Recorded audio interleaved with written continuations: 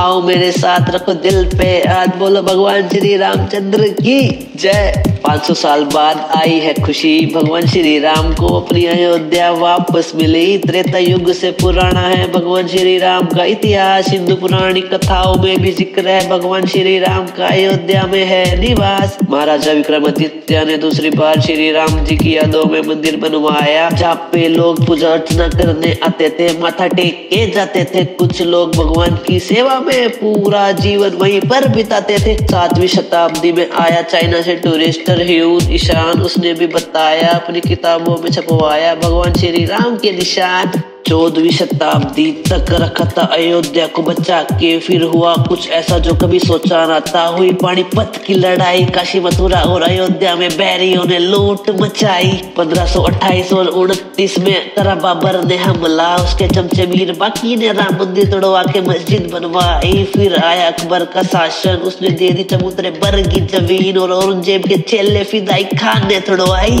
बीत गए 200-300 साल, उन्नीस सौ उनचास में मस्जिद में रामलला की मूर्ति मिली, हुआ हड़कंप कोर्ट ने लगा दिया ताला। उन्नीस सौ छियासी में ताला हटा, कोर्ट से परमिशन मिली, हमने पूजा करी, श्री राम रथ यात्रा निकाली, पूरे हिंदुस्तान में भगवान श्री राम की आंधी चला दी। काफ़ी बड़े बड़े मंत्रियों ने रोकने की कोशिश करी, पर राम जी के नाम की आंधी रुक न सकी, हुए सीरियल ब्लास्ट, हज़ारों लोगों की चली गई जान, हुए सब परेशान, रोकने वाले बोते पर रुकना न था। कुछ भी हो जाए, आगे बढ़ना ही था। अयोध्या में जाके भगवा फहराना ही था। श्री राम की यादों में लहराना ही था।